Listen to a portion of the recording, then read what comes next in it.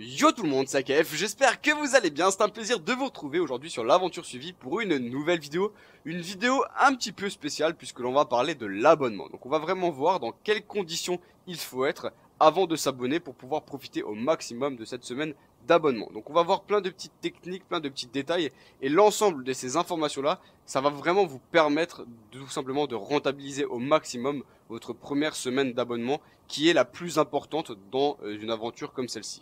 Le premier point et le plus important, je pense, c'est le nombre de kamas. Beaucoup de personnes vont vouloir s'abonner dès qu'elles dépassent le million de kamas. Elles pensent qu'elles ont assez pour s'abonner, ce qui est le cas. Un abonnement, c'est 900 000, 1 million de kamas, on va dire environ. Donc, les personnes là vont s'abonner, mais après, elles n'ont pas en tête ce qu'elles vont faire par la suite. Et ça, c'est une grosse perte de temps. Vous allez peut-être perdre un ou deux jours d'abonnement juste à réfléchir et à remettre en place des techniques. Donc ça, on va voir pour, euh, on va voir comment faire pour tout simplement déjà regarder un petit peu ça avant de s'abonner. Mais en tout cas, au niveau de la somme de Kama, il ne faut surtout pas s'abonner dès qu'on a un million de Kama, c'est la première erreur à faire. Je pense que la somme, euh, on va dire, correcte pour s'abonner, ça serait d'avoir entre 2 et 3 millions de Kama. Là, vous serez normalement plutôt bien. Vous allez payer 1 million la semaine, on va dire, il va vous rester entre 1 et 2 millions. Avec 1 million ou plus, on est euh, plutôt bien pour recrafter des items et refaire du bénéfice derrière. Donc ça, c'est un point très important, le nombre de kamas de base. Donc par exemple, moi, à l'heure actuelle, j'ai 2 millions 8 sur moi. Donc même en dépensant environ 1 million pour l'abonnement, j'aurai presque 2 millions de kamas encore sur moi. Donc on sera assez large pour pouvoir recrafter des items et euh, refaire des bénéfices. Ce qui est important du coup, c'est vraiment d'avoir une grosse somme de kamas sur soi. C'est le seul moment dans l'aventure euh, où vous devez tout simplement ne pas recrafter en continu des items, mais essayer d'avoir un maximum de kamas sur vous. Donc là, par exemple, à l'heure actuelle, mes HDV sont plutôt vides. J'ai peut-être encore, même, je dois avoir 500 000 kamas en HDV, mais voilà, j'ai euh, beaucoup de kamas sur moi, une grande partie des kamas en liquide, et ça c'est le plus important à noter. Il faut vraiment que vous ayez cette somme de côté pour ensuite pouvoir vous intéresser à de nouveaux crafts. Donc ça, on va en reparler euh, juste après. Autrement, à aucun moment dans l'aventure, vous devez garder autant de kamas sur vous. Vous devez toujours investir vos kamas, que ce soit avant de payer la première semaine d'abonnement ou une fois qu'on est abonné. D'autant plus important une fois qu'on est abonné parce que tous les kamas qu'on a sur nous, c'est euh, des kamas qu'on n'investit pas et c'est forcément des bénéfices qu'on n'aura pas. Et une fois qu'on commence à s'abonner à 1 million la semaine et surtout au début, dans les premières semaines d'abonnement, il est vraiment impératif de dépenser tous vos kamas, d'investir tout ce que vous avez sur vous. Ensuite, un deuxième point très important, ce sont les euh, métiers. C'est vraiment quelque chose de très très important parce que souvent, les gens quand ils vont s'abonner au début, ils vont payer un million de kamas la semaine, ils vont rembourser ce million pendant la semaine, mais ils vont vraiment stagner au niveau des kamas. C'est-à-dire que, imaginons, j'ai 3 millions environ sur moi là, je vais payer un million, donc j'en ai deux, et euh, en une semaine, je vais réussir à me faire un million, un million deux. Donc c'est-à-dire que dans une semaine, j'aurai peut-être 3 millions 2 sur moi mais je vais devoir repayer une semaine d'abonnement, c'est-à-dire qu'en une semaine, j'aurais fait seulement 200-300 000 kamas si on soustrait ce million. Donc ce qui est très important, et pour pouvoir vraiment faire ces bénéfices dont on a besoin, il faut avoir des métiers qui sont HL. Donc là, il faut avoir deux types de métiers. Donc il faut avoir un métier de craft minimum au niveau 60, donc c'est euh, tout simplement le, niveau max qu'on va avoir en étant non abonné. Donc là il faut un métier 60, donc par exemple moi j'ai tailleur, mais vous pouvez avoir un autre métier, ça pose pas de problème tant que vous arrivez à vous faire des kamas avec et qu'il y a des techniques dessus. Quasiment tous les métiers sont rentables, donc ça ne pose pas de souci. Vous pouvez aussi évidemment avoir deux ou trois métiers niveau 60, c'est encore mieux. Plus vous en avez, plus ce sera facile pour vous de crafter des items et de faire des bénéfices.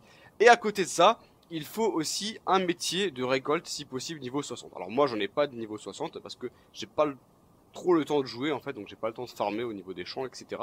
Pourquoi un métier euh, niveau 60 C'est super méga important. Une fois que vous allez être abonné vous allez évidemment tout de suite investir vos kamas.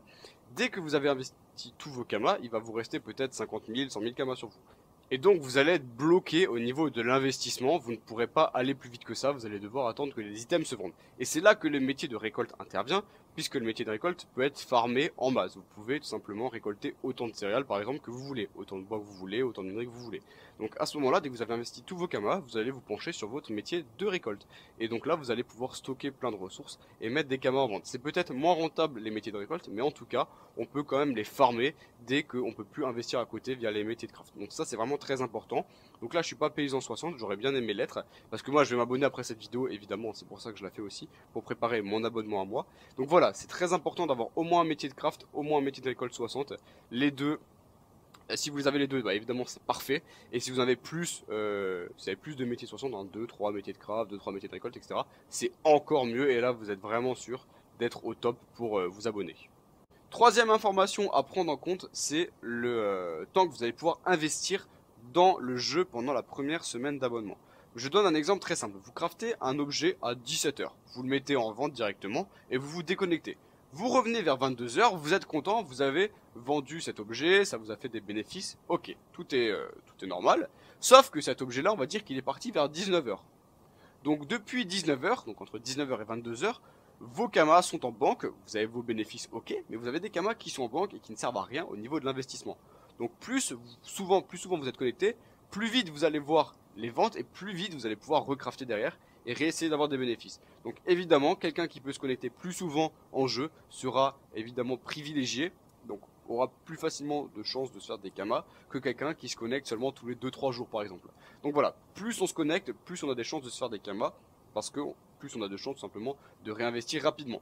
Et il y a aussi euh, cette information-là à prendre en compte, plus euh, vous vous connectez, et bah plus souvent vous allez pouvoir simplement remettre le bon prix rechanger le prix, c'est-à-dire peut-être baisser de 1 kama à 1000 kama, ça dépend de voilà, la personne qui l'a baissé avant vous, mais voilà, pour vous dire, plus on se connecte, plus on voit les ventes, plus on peut réinvestir, plus on peut changer les prix, plus on peut vendre. Voilà, c'est tout bête, mais le temps euh, que vous pouvez investir en jeu est vraiment très très important par rapport à ça. Donc évidemment, si vous souhaitez vous abonner, il faut voir si vous allez pouvoir jouer les 7 prochains jours qui viennent dans la semaine. Si c'est pas le cas, si par exemple vous allez pouvoir que jouer deux jours et après euh, vous partez pendant 2-3 jours euh, à l'étranger, je sais pas, je donne un exemple totalement bidon, eh ben, ne vous abonnez pas maintenant. Abonnez-vous dès que vous savez que vous avez 7 jours devant vous. C'est pas important, on sait qu'on peut se faire des camas en étant non abonné, on l'a déjà vu. Même moi, j'aurais pu faire toute l'aventure suivie en étant non abonné. Les 10 millions de kamas, c'est pas un problème pour les faire en étant non abonné. Donc vous pouvez faire quelques petites techniques kamas. Et vraiment, quand vous êtes sûr de pouvoir jouer 7 jours, ou au moins une bonne partie de la semaine, alors à ce moment-là, abonnez-vous. Voilà, donc on a vu trois grosses informations. Maintenant, on va en voir plusieurs des petites à côté qui vont vous être aussi utiles. Comme par exemple, le fait d'avoir un personnage niveau 20 ou 30 minimum. Ça vous permettra vraiment d'avoir beaucoup de place en HDV une fois qu'on est euh, abonné, on commence à avoir beaucoup de kamas, à vouloir investir beaucoup et donc à crafter beaucoup d'items. Et par conséquent, euh, plus on a de place, euh, mieux c'est par rapport à ça. Ensuite, il est très important avant de vous abonner de regarder ce que vous allez faire. Alors ça, j'aurais peut-être limite pu en parler dès le début, c'est tellement important aussi. Enfin, toutes les informations sont à prendre en compte, évidemment, voilà. Mais c'est le fait de euh, regarder ce que vous allez crafter une fois que vous êtes abonné. Je rappelle qu'on est euh, niveau 60 sur un métier de craft, par exemple 60 tailleurs euh, dans mon cas. Et dès qu'on va s'abonner, on va débloquer deux choses. Et ça, c'est vraiment à prendre en compte on va débloquer de nouveaux items, parce qu'on va forcément monter le métier au-delà du niveau 60.